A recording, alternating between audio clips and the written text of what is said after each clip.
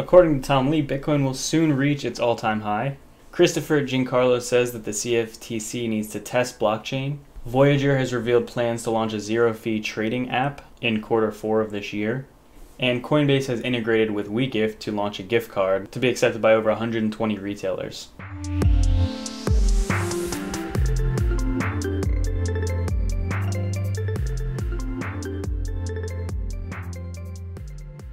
So to start off today's video, I, want to talk about the fact that although the Bitcoin ETF, the SolidX Van Eck one, was not postponed, uh, that doesn't necessarily mean that it won't be postponed. That's not necessarily a bad thing. And it also doesn't mean even if it is, is postponed, the decision will come uh, in 2018. It's very possible that there could be a decision in 2018. And it's also possible that there might not be one. But I also think it's important to maybe not get not get all of our hopes up only for an ETF. Uh, and I've seen some other people saying this as well, but I think it's important to not base the entire future of the next bull run, maybe, or the next uptrend in crypto, not to base that solely on the ETF. That's bad for a lot of reasons. I mean, imagine if it does not pass, right? And also, I think it would make a lot of people uncomfortable if the only reason that Bitcoin uh, and cryptocurrency as a whole started a new bull run or started to do pretty well was solely because of an ETF. I think what we're seeing now in the market, this recent uptrend that we've been seeing, I do think that one of the reasons uh, we've seen a lot of good volume uh, and we've seen this uptrend is because the possibility of an ETF. I also do think that it's kind of just what TA is predicting. TA can be very self fulfilling, especially when everybody's looking at the charts and looking for the same things. And I also think there's probably many dozens of other small reasons throughout the entire space that are probably having an impact on this. I don't think it's one thing in particular, but you know, it's very possible this could mainly be because of the Bitcoin ETF talk. So in terms of the overall market, again, today was more of a neutral day. It didn't really go up or down if we look at the chart here. Well, I guess technically it went down a little bit. Really very negligible though. This is basically just uh, a neutral day. Again, maybe a day to bring down the RSI a little bit so we can go higher. So far, that's what it's been doing. That doesn't mean it will forever either. But again, something I do like seeing is that we have a lot of coins uh, in the top 10 and a lot of coins outside of the top 10 as well, gaining good percentages uh, besides just Bitcoin. And so that's what we want to see as well. The global market cap still right around 300 billion. We had XLM up over 12% today, currently at 33 cents. Uh, there is some news for that. I want to talk about that very briefly also. So overall, not a super exciting day, but also nothing to panic about. Probably one of the reasons that XLM is uh, doing pretty well today is the fact that Huobi Global launches Stellar on July 25th, which is today. By the time I post this video, it actually might be the 26th. But according to this blog post, Stellar XLM will be launched on Huobi Global on July 25th. XLM BTC pairing and an XLM ETH. So Huobi is also the third largest exchange by trading volume, so that's a pretty big deal.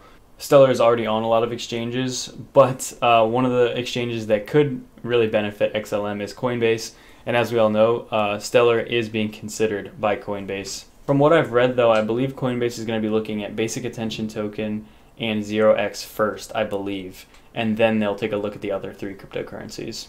Basic Attention Token and 0x are both the lower market cap coins, so maybe that has something to do with why they're going to be looking at those first. So I'm sure you're all familiar with Tom Lee. This is an article titled Bitcoin at Future Regulatory Risk.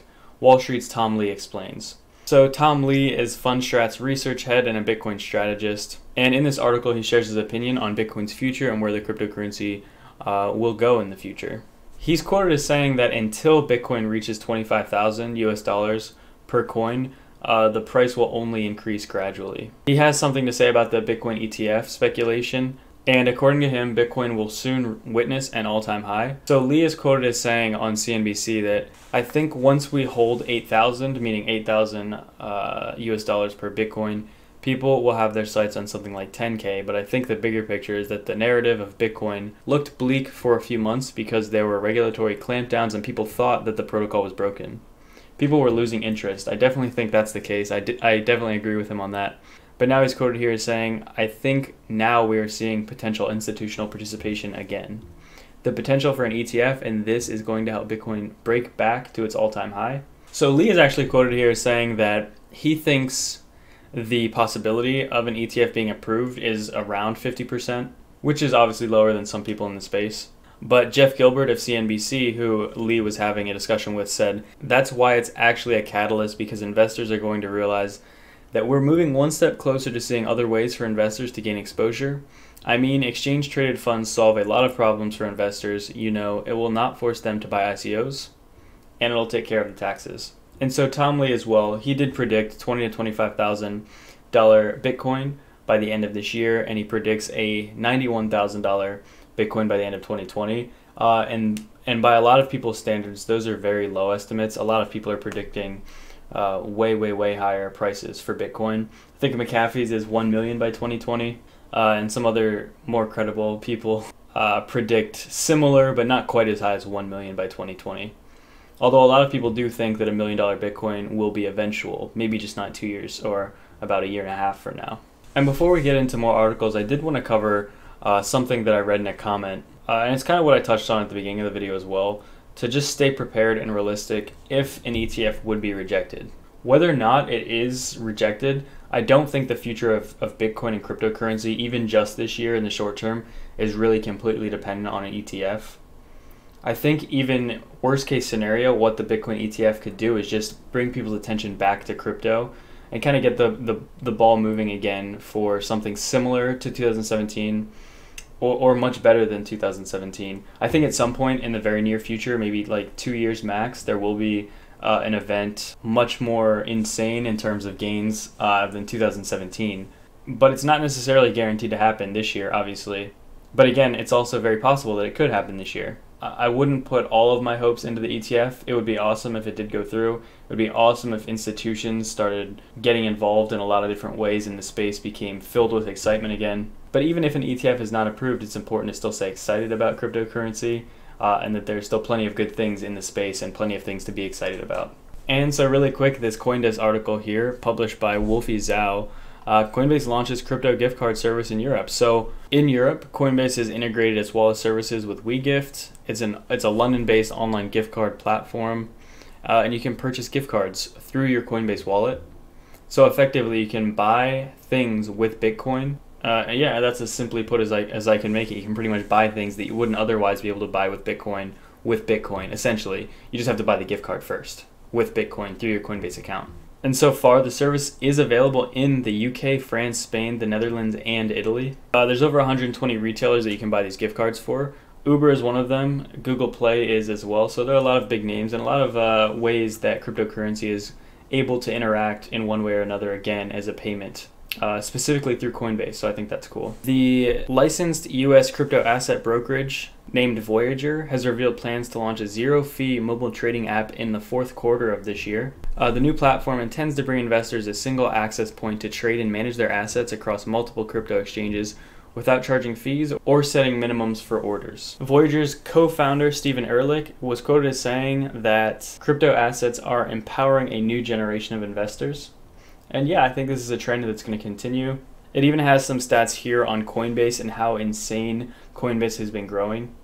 Whether or not you love or hate Coinbase, uh, it is still incredibly dominant, especially in the US, in terms of getting your hands on cryptocurrency. And again, whether you, you do like it or not, they are making crazy moves. The biggest, I think, recently, uh, besides the fact of the five coins they're considering adding, Coinbase custody, I really think is going to be a huge way for the mainstream adoption of cryptocurrency going forward. And services like that. And so, Chairman Christopher Giancarlo of the CFTC or the Commodities Future Trading Commission. He's been an advocate for crypto for at least a few months now. I think it was back in February at the hearing that he was really he was really showing his advocacy for cryptocurrency and he won a lot of people over in the crypto field for standing up for cryptocurrency and the younger generations. But he's also quoted here saying, "We're falling behind." Just two days ago, the Bank of England announced that they're putting a new bank to bank payment system in the UK, and it's going to be blockchain compliant. And they've had the last four years to participate in all these blockchain beta tests that we've not been able to participate in. So I feel like we're four years behind. Because we do not need to test it, we need to see how it can help us do a better job as regulators. So just good news in the sense that there are people in our government that are, are interested in working and trying to learn about cryptocurrency and do not want to just shut it down. Uh, unlike unlike uh, Mr. Sherman that we saw about two weeks ago, uh, there are other people on the on the opposite side of that, people who support it and they want to see where it can take us.